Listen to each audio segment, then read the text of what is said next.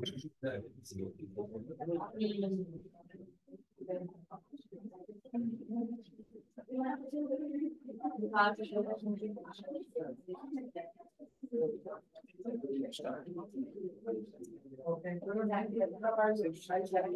welcome, everybody. It's indeed a pleasure to have all of you with us at the multidisciplinary platform, uh, Global Conclaves, live meeting happening at BKC, Premier Financial Center globally. Sandeep, you are a veteran, uh, Sandeep, but Thank you. With uh, rich experience in financial markets, ABN AMRO, uh, CLSA, UBS, Union Bank of Switzerland, Aditya Birla Private Equity, and always keen on studying a deep dive and updating uh, on a regular basis on developments uh, globally, has been a part of India growth story for decades, and recently uh, migrated to Australia, and one of the green, very entrenched countries. Everybody loves uh, down under. And back to uh, BKC, uh, sharing insights on Vivek Patra, continuous series. Vivek in Sanskrit is discrimination, and Patra latest newsletters is in Sanskrit word on latest update on latest developments. So a lot of developments globally and in India, big event happening today uh, on uh, a Saturday. Working day has been declared. Interesting. Monday, big developments globally, and the world will be watching us. So a period of transformation. So can we have a presentation, a short presentation as usual, interactive, so people all over the world globally can benefit? And a big team out here has uh, collected at BKC, uh, elite team, the finest uh, minds sharing great ideas, and collectively the finest and sharpest brains in the world as far as wealth creation is concerned, wealth creation for the world, for India, for the India growth story. Right? Are you ready, Sandeep? Yeah, sure. I think uh, rightly said, it should be a global scenario which we would be looking at. And uh, I would want to make it more interactive rather than me speaking. And uh, the reason is because the subject itself, everyone would know what I'm talking about. And I want to be interactive because some of the questions which I might ask, you would be knowing. At the end of it, I will summarize everything, um, including my uh, representation of what could come around, you know, what might happen in the future. The perspective which I'm talking about right right now, I'm going to talk about right now, is the aspect where India is heading towards, and everyone says that India is heading towards becoming the third largest economy. And, And people are skeptical on how would it happen. Uh, some of the data which I'm going to show you, I don't think most of us have that data, you know, with us uh, on a comparative basis. And and that's what I have actually tried to, you know, capture and see uh, whether, you know, we can discuss amongst ourselves and um, from the point of view of where we are heading is something which we want to understand. The presentation.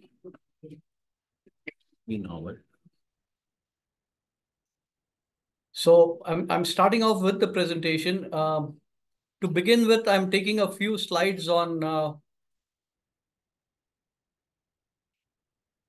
on the India growth story, but from the regulatory point of view, um, I just wanted to highlight some of the things which have happened during the last quarter.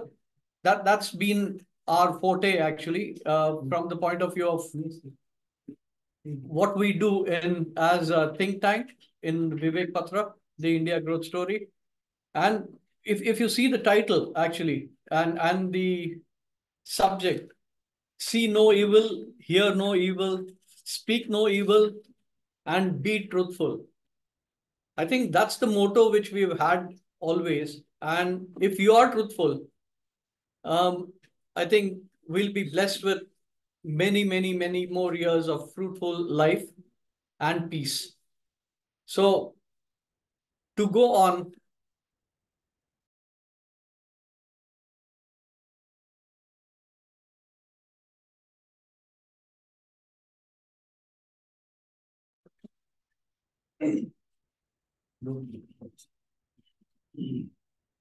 so uh, coming to the first thing which uh, everyone knows it it'll how to be dis, uh, disclaimers because as I always say, I might not be the right person to talk about the markets, the global scenario.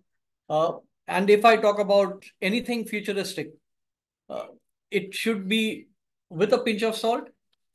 You should be talking to your uh, specialist, your advisors. When in the case of it, you know, investing, you need to take their advice as well before investing. Here, I'm going to be looking at the macro level uh, picture. So it's it's not going to be uh, a great deal of futuristic views, but still, at least the last two slides might be, uh, unless you force me, I won't tell you what the future foretells. Um, so there are a few things where, you know, the Reserve Bank of India came out with some circulars and, and this is more to do with exposure ceilings to individuals and group borrowings for, for urban cooperative banks. And why are we doing this actually? Uh, you're looking at a scenario where uh, India is going into a growth stage. The RBI does not want the sector, the financial sector to have problems going ahead. And, and the reason is very simple. It's expanding at a rapid pace. And we have cooperative banks. We have seen in the past, either the cooperative banks or other banks also falling flat um, due to you know problems at their end, whether it is debt or leverage, and and that's one of the reasons why uh, these things have come into the picture.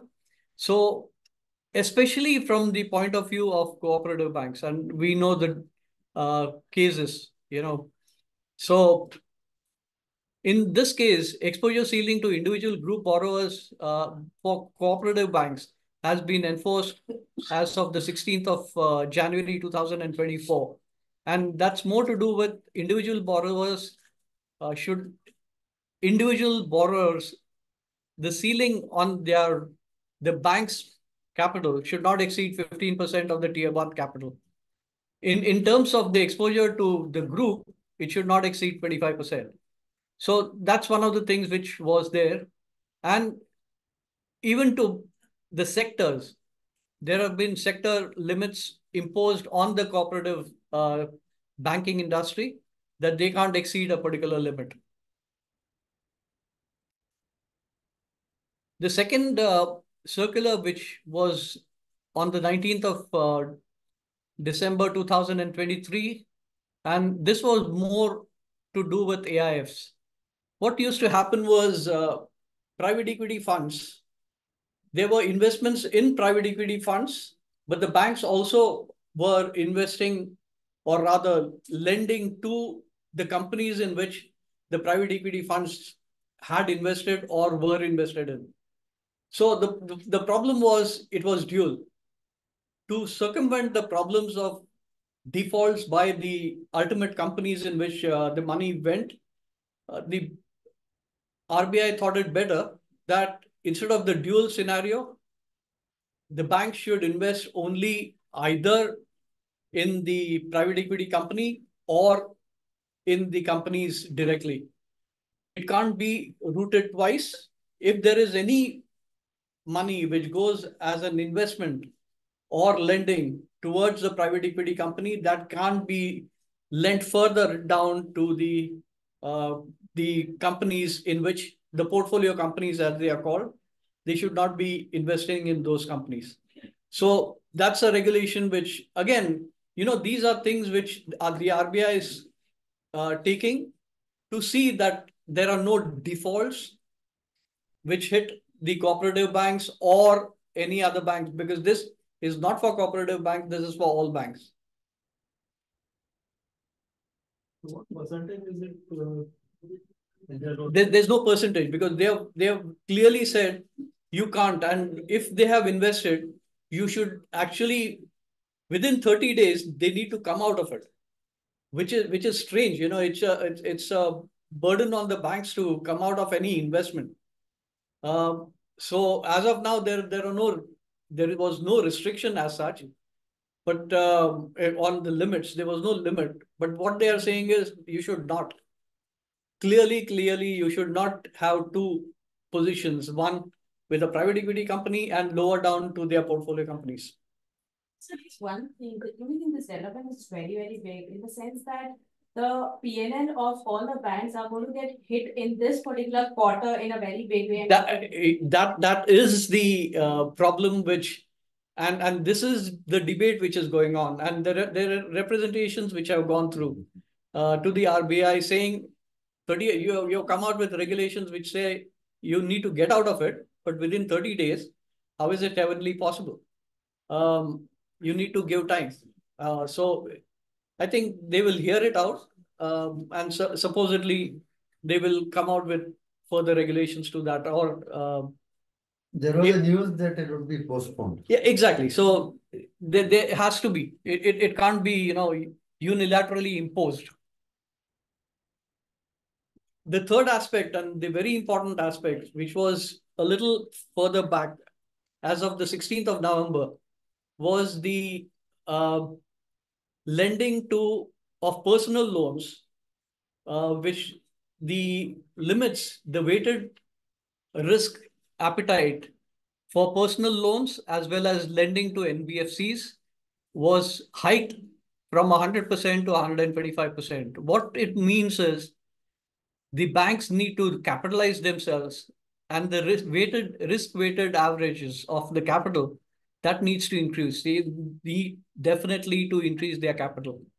So if i talk about all these three aspects risk is the one thing which comes out in common. So the rbi is definitely looking at it from that point of view. And and it's it's good to know that the rbi is looking at it as so that the financial sector if the economy is growing at a rapid pace, we don't want pitfalls. And, and that's one of the reasons, and it's a good scenario to have where the regulators overseeing all these things. Now to come, sorry, now to come to the uh, SEBI circulars, there have been SEBI circulars. I'll go through that broadly. In, in fact, they were broad framework for short selling by individuals and institutional investors, where they said that uh, you can't have naked sales. Um, you need to have stocks, and uh, there is a, a, borrowing and lending mechanism which will be put in place, and that has been going for long. I don't know why it's not been implemented even after so much of discussion. So that's something which uh, SEBI wants to come out with. Then there's uh, foreign investment and alternative investment funds for uh, AIFs The other one, if you want to go through that, I can click and uh, if you want me to go into the depth of it, do you want to? Yeah, go ahead. We can do it for three, four minutes. It's very important development. The first one, short selling by individuals and. Will be, uh, I don't know whether it, if I click it, it goes to the next one. यहाँ खोलने नहीं होगा mouse and you refer to AF1, right? Yeah. Yeah, AF1, yes. No, no. If I click, it goes to the next uh, slide. So I will have to escape and possibly do this. Yes. Yeah.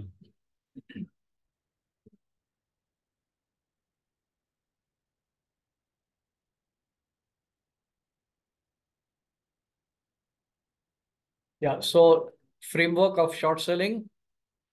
So you know what short selling is because that has been defined there. And this is for retail as well as institutional investors. So the exactly what I had said, naked short selling. Oh, oh, oh, oh.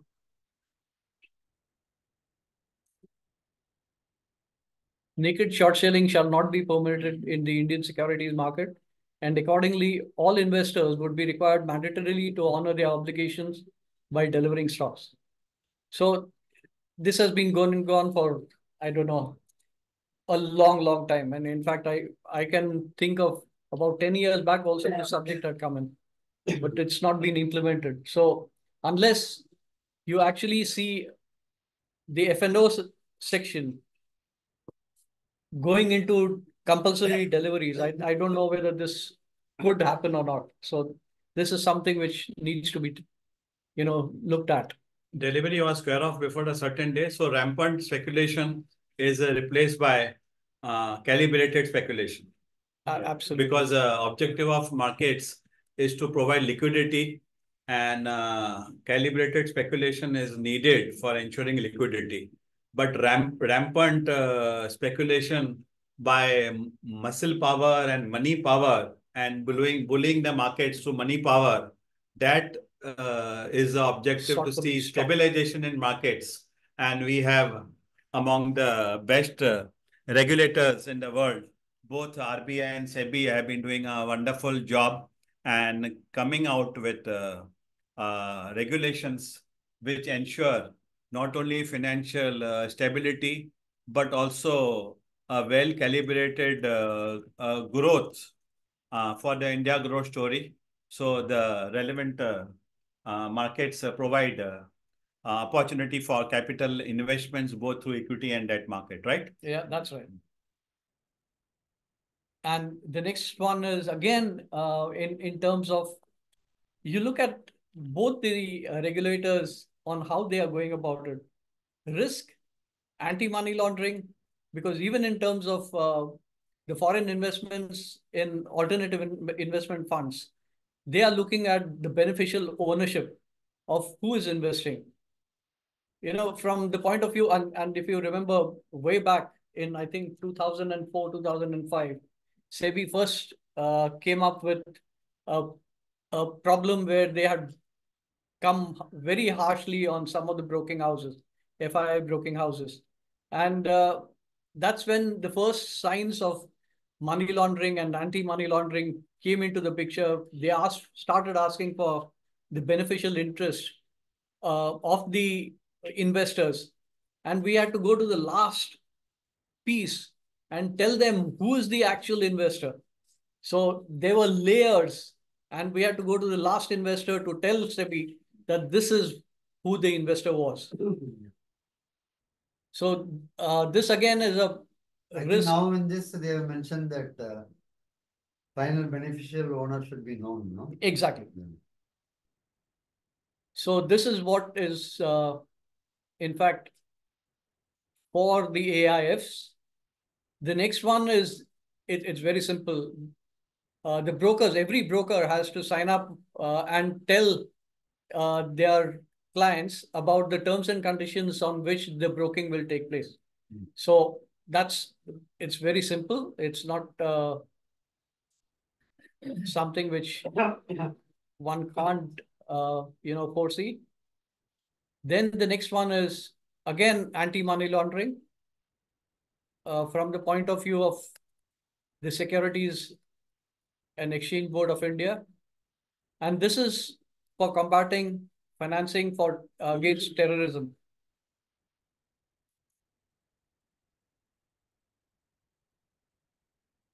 Uh, So amend, there will have been amendments to the anti-money laundering um, guidelines. They will, you know, what I foresee from doing this, we are covered under FATCA.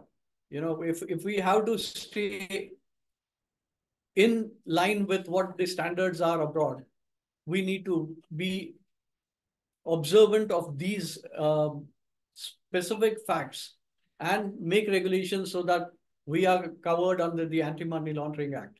And that's the reason why SEBI as well as RBI is initiating these.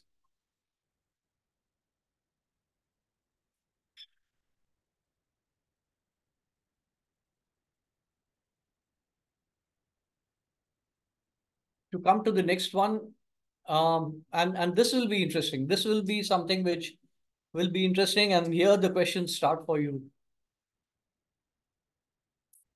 Now, the global events and issues influencing growth and prices. Why analyzing global statistical data is warranted and form the base for gaining knowledge on the financial and the capital markets. This especially when the global economy is in the flux. Now, what is happening around? Can you make a decision on what is going to happen in the markets tomorrow? Because it's completely dependent on the global scenario some country might fail. The US is not doing well. China is not doing well.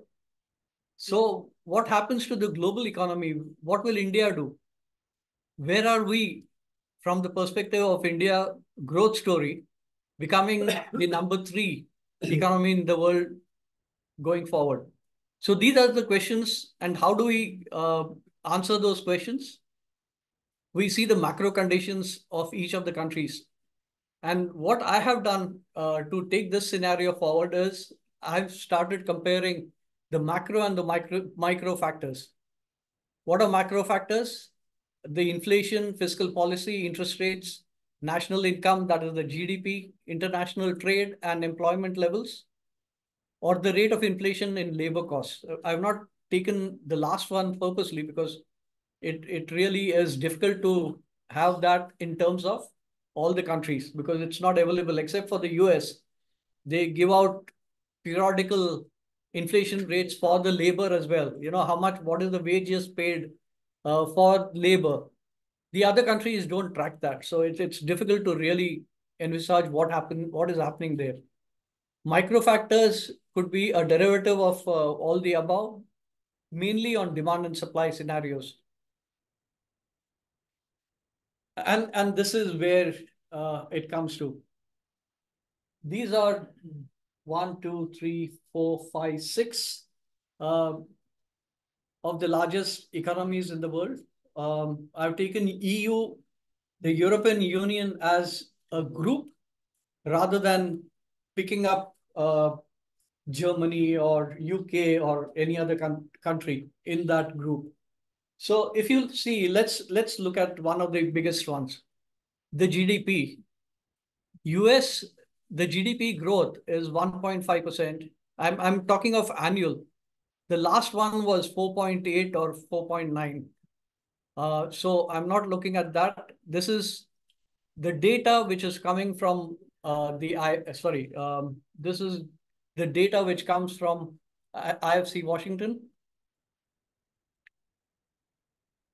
and the IMF, I've taken all the data and I've agreed on, uh, you know, they have agreed and allowed me to take all the data from their portal and reflect it as a survey. You know, so this has been done specifically by taking all the data, most of the data from the IMF. So US annual GDP 1.5, EU 1.5, Australia 1.2, India the highest, 6.3. And this is annualized. I'm again 7.2 or something of that sort is the last uh, data which was there for India, but that, that was for the last quarter. So uh, this is annualized, how much it would be for year 2024. China is 4.2. Now, Inflation. Inflation is 2.8, 3.6. I, am not going to actually read out. You can actually have a look uh, on what it is. I'm going to keep it for some time there. Now, what happens in, in terms of uh, these? It's very interesting to know that each of these things are, you know, dependent on each other.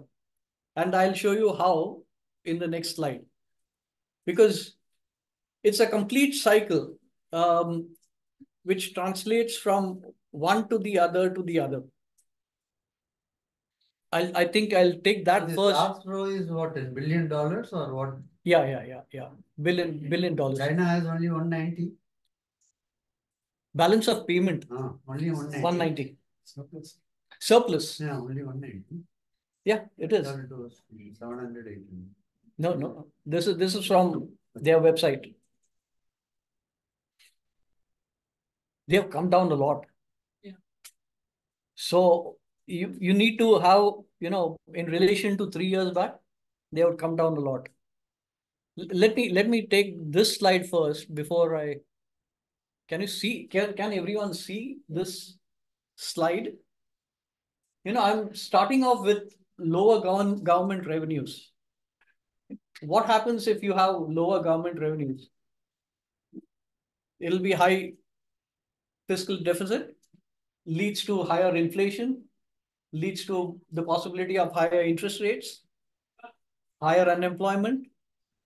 Higher unemployment leads to lower demand, leads to lower GDP, which is in turn lower balance of payment, higher fiscal deficit, and again, lower foreign currency reserves and higher external debt. Again, that leads to higher deficits.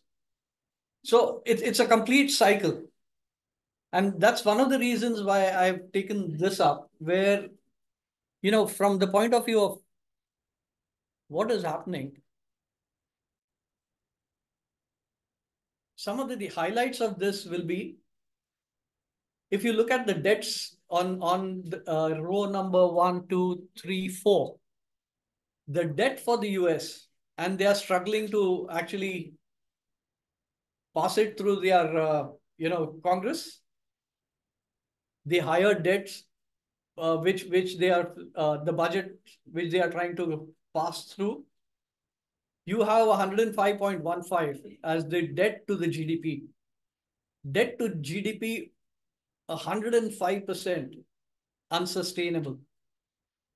And it's even higher, forty-eight percent. Japan is 248. So I think all in all, I'm, I'm looking at India, which is only 69.07. But But December, not higher than December. China. No, December, China had the highest, two eighty-five percent of the GDP. Yeah, But how come then the China is over here forty-three percent? That No, may be no, wrong, because that is China will wrong. be much higher than India. No, no, that is wrong. Which one? That China, percentage of GDP is uh, No, China's GDP is way, way higher. eighteen trillion dollar. And uh, their debt to GDP is uh, as of December two eighty-five So percent. yeah, that's what, yeah, because it will be. Uh, okay, do you want to actually see that data? IMF has released the report on uh, debt, global debt. I've taken it from Uh, the, According to that, it is two fifty-five billion. China debt will be much higher. Now at the end of December, it is two eighty-five billion. uh, huh, so this, this is old. Fifteen data. huh? That's what- This- Good. 2015, this is old data. Ah.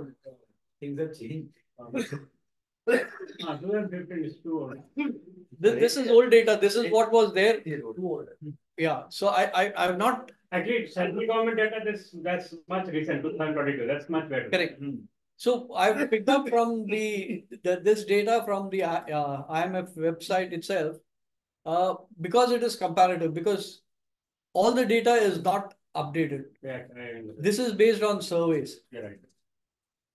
but So we are very clear, it is sourced clearly the IMF website. yeah, absolutely. And they have taken the latest uh, reported available with them. No, no, no, no. Reported. They This released is a report surveys. on global debt in the month of December. According to which China is the leading country. But that's not on the IMF, portal. Is, uh, Yeah. We have to take authentic because there were clear There is a- direction on, They are given country wise, country wise debt. yeah. It's a big report. I've gone through the report. Okay. But at least it's not on the website. Yeah, yeah, that's important. Authenticity, Website. it- authenticity and reporting. it Yeah, is that's mentioned. Okay. Then you have the central government gross debt to the GDP. That update can be, we'll share it. We'll, we'll Yeah, share it is it. there. We'll Yeah, share it. No, no, it we'll, is we'll we'll share IMF, that. uh, Yeah, we'll share it. website, Yeah. The central government debt to the GDP, again, Japan is way high. Um, even the US is way higher. Eighty-two percent is uh, India. China at eighty-seven percent.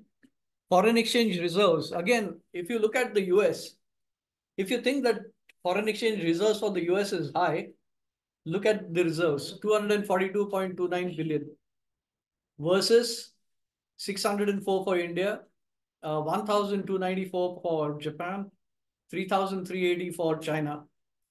So I don't for one know how uh, the rating agencies rate the US because if you compare these this data, um, how in actual fact is the US actually able to sustain this? Uh, you know, their rating they have been brought down, uh, you know, lately. Actually, all ratings are, uh, pay, their headquarters in US only, no? So, but, but then lately they have been reduced. Yeah, Uh, but but- not but that still much. not- It not that have been much. there. It's not approved. But there's a reason for that. Plus One reason, all one reason, of course, he said, uh, uh, they are based in US, so the masters owners are there. But the most important point, rating agencies look at uh, liquidity and ability of repayment. And because, uh, US by its self-appointed position of being the liquidity manager for the world, that's what it proclaims.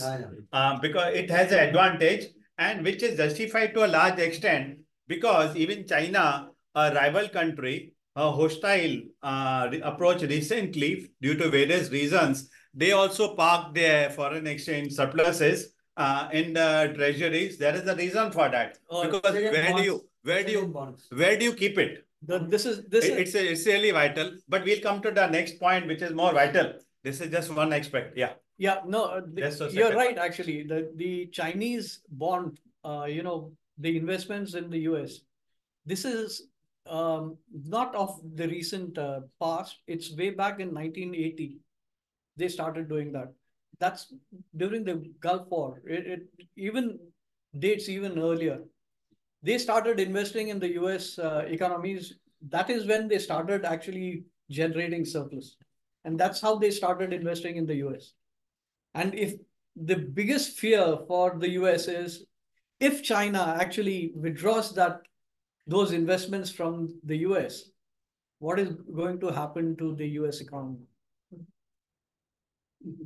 So it's that's a major, major factor. You, you want to Uh, say Yeah, we'll go. But um, uh, best thing is uh, itself uh, this week itself the RBI governor at Davos uh, has actually uh, clearly communicated be ready for a multi-currency work uh, world, and the banks here are also ready to do transactions in multi-currency. In fact, a private sector bank, Yes Bank, has done the transaction this week on multi-currency on the technological platform. And most of the banks, uh, foreign banks, private sector banks, public sector, leading ones are ready for this multi-currency. That will bring the big change in 2024 and beyond for the India grocery. Let's move ahead. There's a lot to Yeah, uh, then, then the next one is the fiscal deficit. Um, if you see the fiscal deficit, China is moving up in terms of fiscal deficit. It's now 7.4%. Uh, India is 6.4%. EU and the uh, US is somewhat manageable. Central bank rates, and, and this is what I said when I showed you the diagram. What happens, you know, for the interest interest rates? What is going to happen in the future is something which is unknown. What happens if, uh, you know, the Red Sea, uh, there is a complete blockage in the Red Sea and oil prices jump? Inflation will, there'll be chaos again. What happens if the war in uh, the Middle East expands to other countries? There'll be chaos. So there are two factors which go along with this. The US Fed has already said people are, you know, jumping, uh, saying that the interest rates are likely to come down. Fed might bring down the interest rates. Day before yesterday, our governor also has said people and investors here are also saying the same thing, but that's not true. Um, we can't lower the uh, bank rate, the central bank rate immediately. It might take four months, six months. It depends on the geopolitical scenario. So all in all, you know, from the that point of view, we need to look at the overall scenario. And, and that is one of the discussion points I've, I've been talking about. We need to look at the overall scenario. Then comes the balance of payment.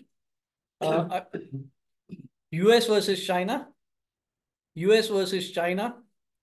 Um, 165 deficit versus China is 190 billion. So all this data is, and the links to that data is, you know, what I've taken from, and I've already already talked about this. To round up, actually, uh, so the global worries pertaining to the debt situation in the US, accentuated by the stalemate and the passing of the government budget due to the political problems there, is what is uh, the issue. US continues to have a big balance of payment deficit. Global inflation is still high. We don't know how it will be. It's noticeable that if you look at one of the things, and I'm not talking because I'm coming from Australia. Um, if you look at uh, one of the scenarios here, uh, the fiscal deficit, Australia is the only country with a you know fiscal positive, a surplus, and it augurs well for that economy. If you see the the whole scenario for uh, the growth is not as much, but Australia is a country which is, for one reason or the other, a little stable. But growth matters, that is a key thing. That, that, that is something which is a known And fact. it is uh, impacted uh, significantly by so geopolitical. I, I already said that, you know, it's a conundrum of uh, for the central banks on what is to be done from the point of view of uh, what to do in terms of the central bank rate. And, and if China does not, you know, grow, then we are looking at a scenario of stagflation, deflation, whatever you call it. So that that's where we stand at present. For that country, which can be a big mega opportunity for many other countries, and particularly like India, which is a developed country, which has arrived, and uh, it really huge, huge uh, manufacturing uh, made in India is happening here, and the world looks at uh, sourcing from India because of Indian quality of products is very very high. That is the key reasons. And uh, earlier, China was also known for a lower quality and opaque, low transparency. Mm. And it has now come to India, and uh, which has arrived, and lots of things. Now we'll look at the latest situation in terms of the movements worldwide in the markets. Not worldwide. Uh, this is for the Nifty. And, and we see the scenario as of yesterday, actually. And uh, you can see what has happened, actually. The it was moving in a channel. Uh, it's broken the channel and fallen. It's trying to go back into the channel, but uh, if you look at the, if you look at what is called the arithmetic to the uh, to the level it should go, it has a minor correction still in the offing. So that is one of the things which is there. But uh, one never knows. Again, I'm again saying dis, uh, disclaimers. You take your own decisions. What is the long-term uh, outlook looks like from this chart, uh, 2024 and this, beyond? This doesn't show anything at all because from the point of view of uh, the, uh, at least from the oscillators, the last oscillator is still at 49.5. Okay, the last oscillator is the analyst oscillator, which uh, that, that's the program I use. Uh, that oscillator is 49.5. It's not crossed the 50 mark. So we are there. But let's look at let's look at the next one. This is at 50.55. This is the bank nifty. And the bank nifty has fallen and it's fallen sharply. It's actually taking support at that level. So let's see what happens. It has fallen and, and you know the reasons why it has fallen. HDFC Bank is the sole um, you know, component of what has happened. And people were jumping with joy when uh, and saying HDFC Bank would be the largest or one of the largest banks in the world Uh, in, in terms of size after the merger. What, what has happened? the loans to the deposit ratio has completely gone haywire. The loans to the deposit ratio for HDFC banks is, is 110%.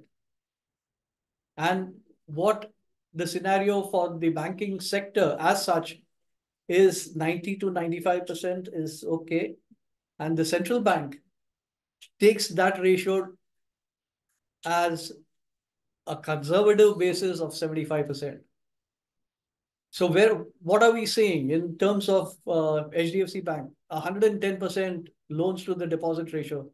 Either they have to cut down on future lending or they have to actually Products, deposits. yeah exactly and how are they going to do it is something of a question mark Or a mix of both. It has to be a mix of both but they can't do it Well, uh, actually, there is no We'll question, uh, there is no question mark about it. The selling was very, very small, uh, five thousand crores, eight thousand crores, when global selling in the last few uh, uh, days uh, was in billions.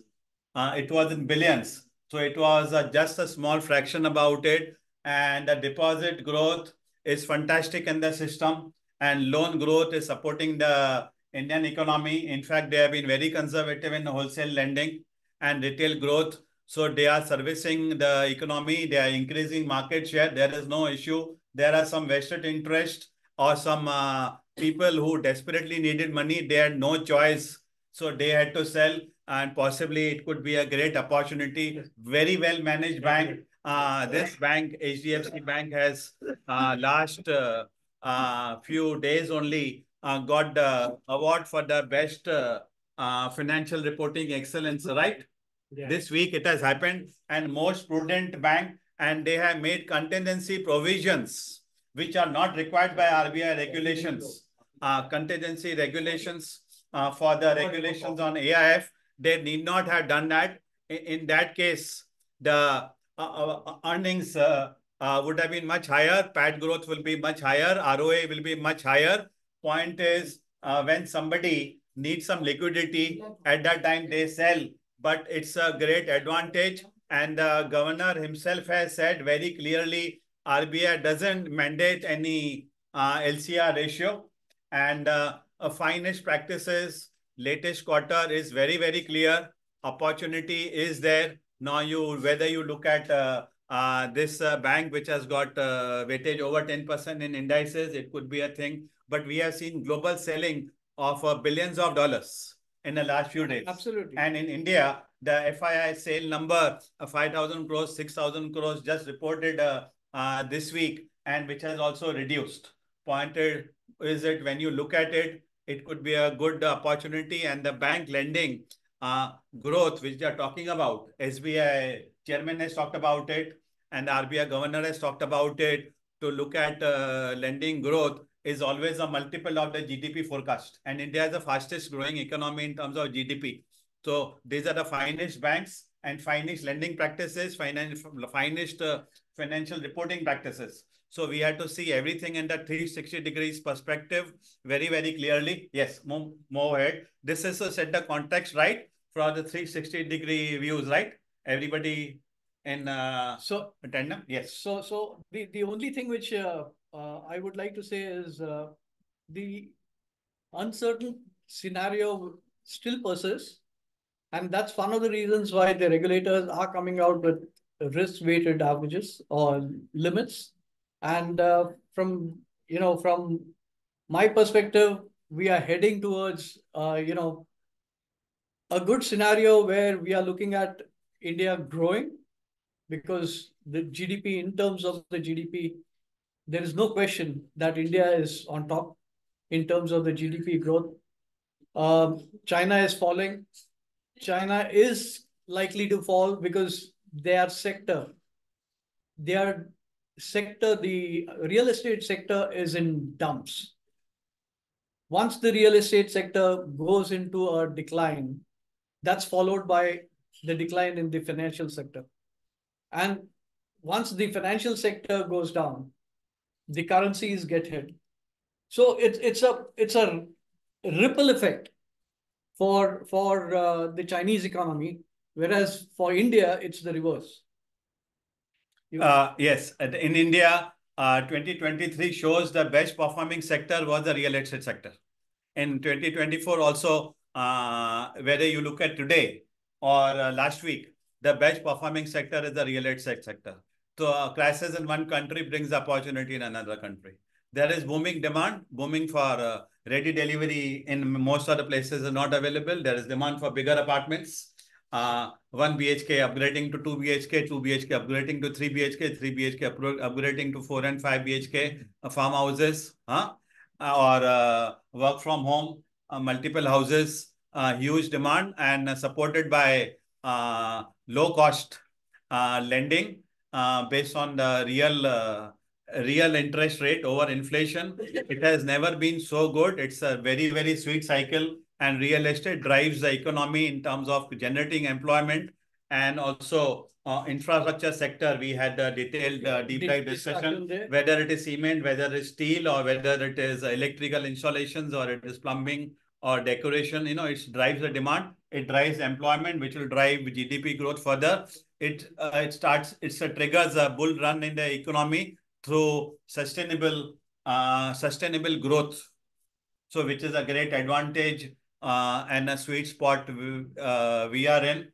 And uh, the country also moving up the ranks today, uh, top five in market cap in the world and going to move higher also. And even international stocks are going to be listed soon in the uh, GIFT City and huge opportunities for uh, infrastructure lending also. Next. So no, I, I think this this is the end of the uh, you know in in terms of the charts. But uh, one thing which I wanted to uh, discuss, and this is more of I I remember last February on what we said in terms of uh, you know the budget scenario.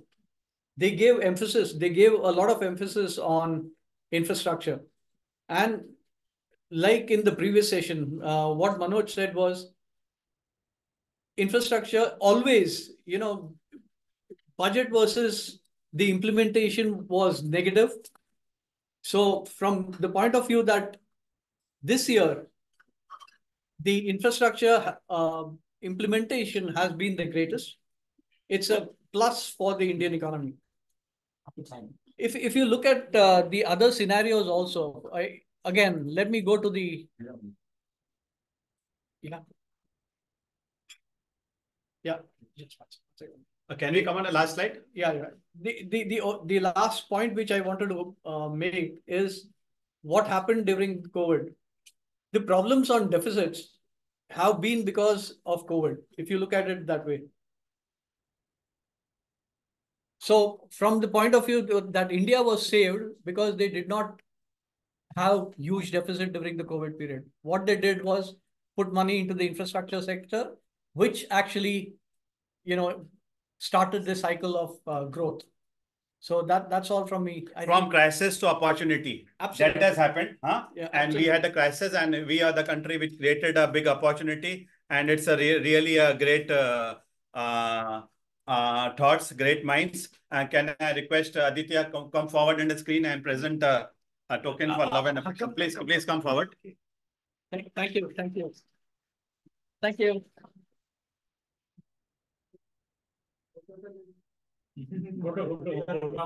Professor.